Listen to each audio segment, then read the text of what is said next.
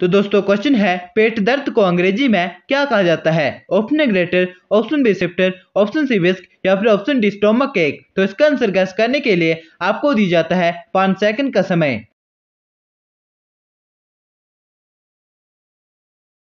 तो इसका आंसर होगा ऑप्शन नंबर डी स्टोमक एक पेट दर्द को अंग्रेज़ी में स्टोमक एक कहा जाता है।